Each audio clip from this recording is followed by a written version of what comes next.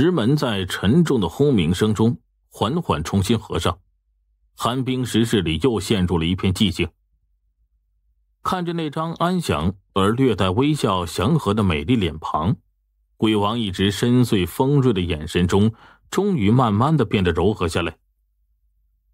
他默默在寒冰石窗一侧坐了下来，眼中只是看着碧瑶，有着说不出的思念与伤痛之意。也似乎只是在这个时候，当他独自一人面对女儿时，才会展露出这一些些的软弱。只是谁又知道呢？又或者说，就是鬼王自己便会明白吗？没有人知道。而在这个寒冰石室的外头，游姬才从这里离开，走了几步。便又停下脚步，皱着眉头向四周看去。不知刚才是不是因为置身在极为厚重严实的寒冰石室中，虽然他感觉到那股诡异的神秘力量，但周围所造成的破坏并不厉害。当然，能够在坚硬之极的石壁上撕裂几道缝隙的力量，这股力道是非同小可。然而，在寒冰石室之外，他所见到的却是严重的多的现象。在鬼王宗开而成、四面八通的甬道之内，到处都是狼藉一片，随处可见到掉落的碎石岩块。远处还不时有人传来着急的呼喊，有人伤痛呻吟的声音。显然，那股神秘力量对胡岐山造成了比预料之中还要更加严重的影响。而就在这一片忙乱的时候，游击还发现另外一件异常之事。那便是在这些通风良好的甬道之中，不知何时，空气中竟然弥漫着一股淡淡的血腥气息。这股血腥之气不知从何而来，却似乎随处都在。无论他走到哪儿，都可以感觉到这股气息。显然，这异样的气息并不浓烈，但幽姬仍然是感觉到很不舒服。其实，如今的烦心事对他来说却是太多了，也没再心思烦这个了。对于他来说，现在他就像是一股气憋在了胸口，无论如何只想着冲出这个山腹，去外面透出一口气的感觉。他是这么想着，也就这么做了。幽姬的身影很快的消失在这个山腹的甬道之内，只是那股淡淡的血腥之气，却似乎还在这里悄悄的弥漫着。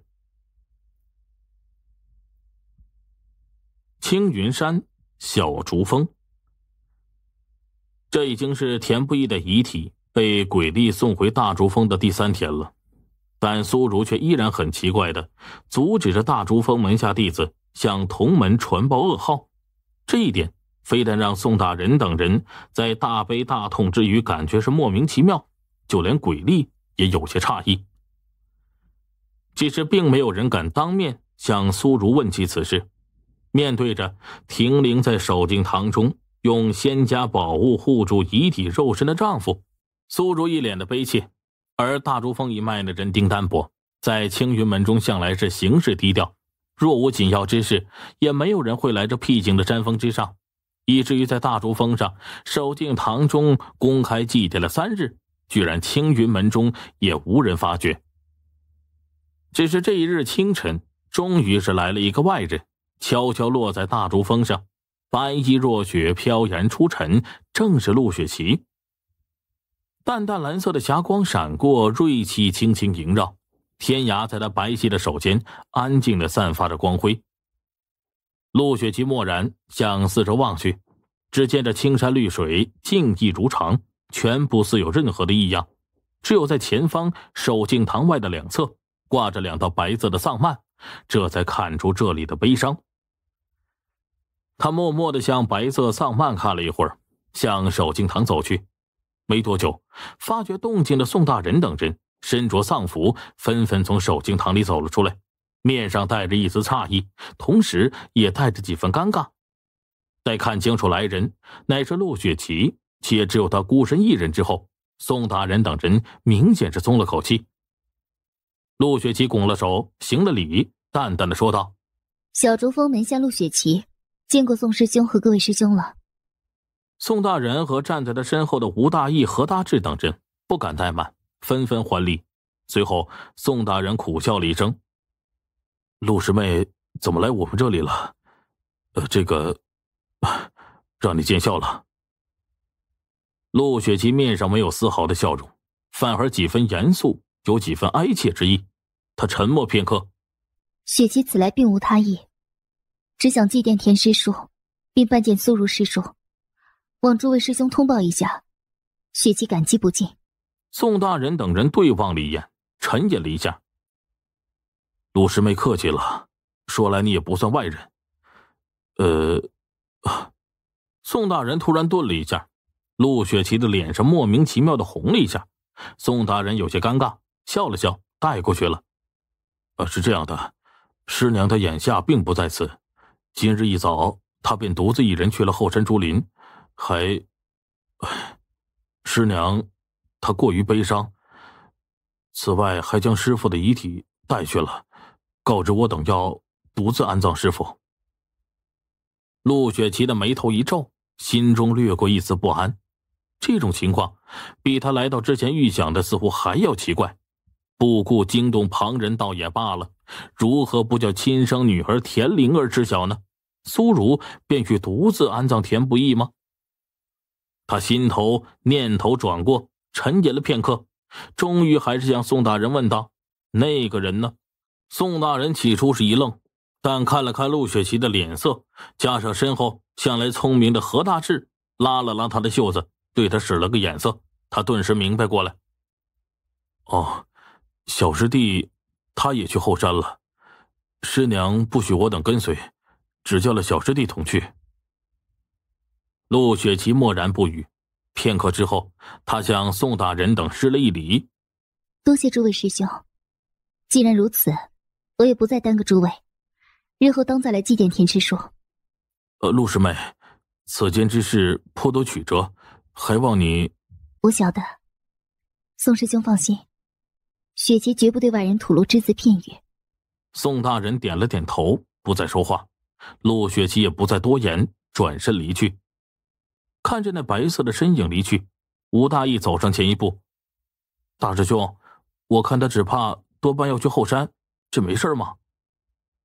旁边的何大志说道：“哪那么多事儿啊？这位陆师妹分明肯定要去后山看看。她今日来大竹峰，定是身负了小竹峰水月大师的吩咐。若不弄清楚师娘的情况，她回去啊也难向水月大师交代。”宋大人沉默片刻：“他去了也好，我总觉得这几天师娘伤心过度，一直担心呐出什么意外。”只是师娘不许我们跟去，我们也不能违逆她的意思。虽然老七跟去了，但我们也晓得，师娘叫老七离开的话，以老七的性子，加上他向来敬重师娘，只怕也是不敢违抗。有这位小珠峰的陆姑娘过去看看，总没坏处。众人听了，大都是点头称是，随即默然无语。宋大人叹息了一声，转回身走回了守静堂中。大竹峰后山竹林，放眼望去，这里和小竹峰的景色颇有几分相似。眼光所及，都是郁郁葱葱的翠绿竹林，随风舞动，竹涛阵阵。晨光从天落下，在竹林缝隙间投射了点点光痕，落在了地面之上。细细的竹叶之上，还凝结着这无数的晶莹露珠，光滑圆润，最是可贵的珍珠一样。鬼力置身其间，一时不有些惘然了。多少年前，他便是在这里开始了在大竹峰的人生。不知道有多少个晨昏日暮，他挥舞砍柴刀，挥洒汗水，在这个僻静的竹林中静静的砍伐。那些曾经感觉枯燥的岁月，如今想来却仿佛如梦。只是那份曾经有过的宁静，再也找不回来了。竹涛阵阵，山风徐徐，耳边掠过，他心中是叹息了一声，抛开了这淡淡无味的感伤，转过头来看向苏竹。田不易的遗体就躺在不远处，旁边还有大黄趴在身边。自从田不易的遗体回山之后，似乎这只狗就一直陪伴在田不易的身旁，从来不曾离去。在田不易的遗体身下。并没有丝毫铺垫之物，似乎对死者有些不敬。但鬼力到宋大人乃至杜比书，却没有一个人敢对苏如的行径有半分的质疑。只是宋然不会去怀疑苏如的悲伤，但他的行为却仍然让人十分不解。鬼力有心询问，只是此刻苏如背对着他的身影，却像是一面墙，让他不知如何开口。倒是在这个时候，苏如却打破了沉默：“怎么，你有话要对我说吗？”鬼力吃了一惊，随即沉吟了一下，终于还是小心的说道：“师娘，我有几句话，不知当说不当说。”你说吧。我也知道这些话。只怕不止你一个人想说的。鬼力滞了一下，他想来知道自己这位师娘是聪慧绝顶的人物，看来丧夫之痛似乎并没有影响他的思想。当下，鬼力是咳嗽了一声：“ 师娘，请恕弟子大胆。弟子明白师娘对师傅过世，呃，可是，可是弟子恳求师娘，无论如何也要节哀才是啊。此外。”虽然师娘哀伤，但师傅后事也已早日操办。何况灵儿师姐再情再理，也当要知会她回来祭奠师傅才是。苏竹没有回头，没有说话。鬼力的心中忐忑不安，微微垂首，低声说道：“师娘，弟子若是有大胆妄言之处，请您莫要在意。”你没说错什么，你说的都对。鬼力向苏如看去。心中却是吃了一惊，苏如今日的打扮和前几日颇为不同，虽然还是一身丧服，但面上却看出曾经打扮过，精神了许多，更显出几分美丽之色，令人动心。鬼力低下头，一时间不知道该说什么，迟疑了半晌。师娘，弟子还有一事，斗胆请教师娘。你说吧。师傅亡故，弟子与师娘同感悲切。只是师傅遗体，实不宜妄自轻动，更不宜移至这后山。你是在教训我吗？呃，弟子不敢。苏如看了他一眼，没有说话，但脸色却慢慢转为缓和，似乎也想到了什么，忽然脸上露出了凄切之意。老七，你知道你师父与我成婚多少年了吗？鬼厉的心头一震，他隐隐感觉。师娘此话中似还蕴含着深深的悲切，大有哀伤之意。虽然明知如此，但是他却不知如何安慰，当下心头担忧。呃，弟子不知。苏如笑了笑，回过身，缓缓在田不易的身旁坐了下来。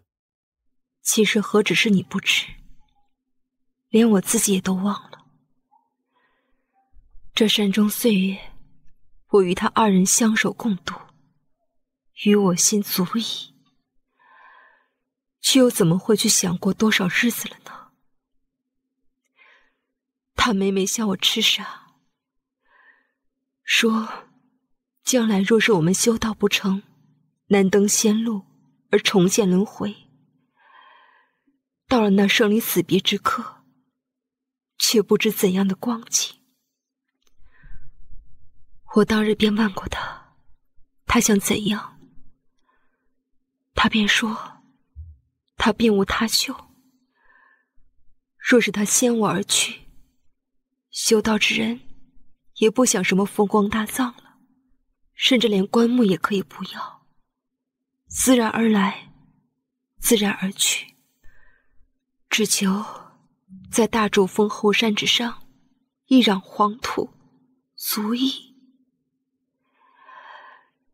这样。”他便可以日夜守望前山之人，不怕寂寞了。话未说完，他却已经是泪流满面。鬼立着紧咬牙关，口不能言。趴在一旁的大黄脑袋是微微抬起一下，对苏如看了看，随后又匍匐了下去，尾巴是轻轻摇了摇。苏如凝望着田不易许久，忽然挥了挥手。你且先下山去，半个时辰之后再来吧。师师娘，怎么？师娘，师傅他老人家生前与你的约定，弟子们自然不敢违逆。只是在师傅入土之前，是否应该知会灵儿师姐一声呢？也好，你下山便去告诉大人，让他悄悄去龙首峰，叫灵儿回来吧。鬼力点了点头，转身离开。走到路口石阶时，他又忍不住回头看了一眼，苏如默默坐在田不易的遗体身旁，身影孤独，看上去委实令人伤怀。他心中又是为之一酸，连忙回过头来，不敢再看，走了下去。这一路走来，他心神略定，不觉又想起了这几天的一样情景：苏如不叫宋大人等人知会青云山各埋噩耗，这本身就奇怪之极。连田灵儿也不让通知，更是不合情理之处。今日如此这般处理田不易的后事，显然是田不易生前曾有约定，但也总归失去了草率。鬼力的心中软了口气，甩了甩。其实啊，修道之人本身不看重往后之事，皮肉骨囊埋于青土黄土之间，也未必不是一件好事。他这般默默的想着，也懒得御风而行，顺着山路一路走下来。不知不觉呢，到了半山腰。遥想当年，他初上大竹峰时，也是跟随大师兄宋大人和小师姐田灵儿来到这后山。这一路上可走的不知多少辛苦，往事历历犹在心头。却不知那位灵儿师姐这些年来过得还好吗？他嘴角浮现出一丝淡淡的苦笑，摇了摇头。随后，他忽然停止了脚步，有些惊讶的向前方看去。山道之上，一个白色的身影忽然出现，窈窕清丽，漠然矗立，在晨光不似半分尘气之中，默默的凝望着他。鬼力也望着他，两人相视良久，却仿佛都无话可说。山风习习吹来，吹动了他的秀发衣裳。随风轻轻飘动，终于还是鬼力先开口了：“你，你怎么来这里了？”我师父唤我前来拜见苏师叔。师娘正在后山治伤，只是此刻她正想一个人单独待着，并不愿有人前去打扰，嘱咐我半个时辰之后才能上去。无妨，那我等着就是了。鬼力应了一声，沉默了下来。那边的陆雪琪似乎也不知道该说什么了，两人之间在这渐渐变得沉默的时候，虽然站着不动，却似乎距离更远了。过了半晌，陆雪琪轻轻说道：“你身上的伤好些了吗？”“好多了。当日若非你救我，我只怕也不能站在这儿。说来，该当真谢谢你才是。”“当日我，我那一剑……”你别说了。陆雪琪的神色一暗，他顿住了。只听鬼力似乎有些迟疑，又接着跟着说道：“那些事儿，师娘都跟我说了。他说是我错怪了你，对不住了。”陆雪琪的身子一震，抬起头来，只见鬼力的脸上又是悲伤之意，目光看向他，但饶是如此，他仍然一字一字的缓缓说道。师娘的话，我自然是相信的。只是师傅他老人家，毕竟那是养我教我的恩师。我知道，或许是我私心太重，指望你多给我一些时日，我也好。我明白，我等你。陆雪琪突然打断了他，鬼力有些惊讶，抬头向他看去，只见那清丽女子贝齿咬着嘴唇，眼中似有泪光。但原先那看似一直紧绷住的身子，却似乎在一瞬间松弛下来，嘴角边有淡淡一丝欣慰和微笑。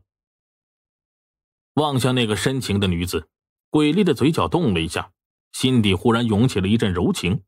他正想微笑对她说些什么，谁知道，便在这个时候，忽然从他们身后那山顶竹林之上，远远的竟传出一阵狂躁的狗吠之声。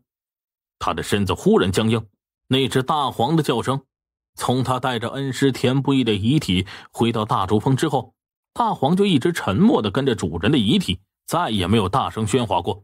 但此刻听来，大黄的吠叫声虽然隔了老远，有些微弱，但听起来几如疯狂，叫声绝望之极，更是他数十年来从未听过。究竟发生了什么，会让大黄忽然间变得如此歇斯底里的疯狂吠叫呢？那心头一直深埋的隐隐担忧，忽然间涌上了心头。鬼丽的脸色瞬间变得苍白无比，甚至于连他的手也开始微微颤抖起来。陆雪琪也吃惊不小，但看向鬼丽的神情更是迷惑。怎么了？鬼丽并没有回答，他的身子微微颤抖着。忽然间，他猛叫了一声：“师娘！”话音未落，他的身形已经冲了上去。如那风驰电掣，向那后山竹林深处冲去。陆雪琪何等冰雪聪明啊！他转眼便料知一二，一瞬间，他脸色惨白，身子轻抖。若是万一因为田不易的亡故，苏如伤心之极，再发生变故，鬼力会怎么样？他不敢想象。到时候两个人究竟要怎样面对呢？他也根本无法想象。望着那个疯狂掠去的身影，他忽然感觉从未有过的无助，如庞大的阴影笼罩在他身旁。他有心想追，可这身躯脚步竟仿佛被无形的力量束缚着，一点也动弹不得。只有在内心的深处，他拼命的对着自己喊道：“不要，不要！”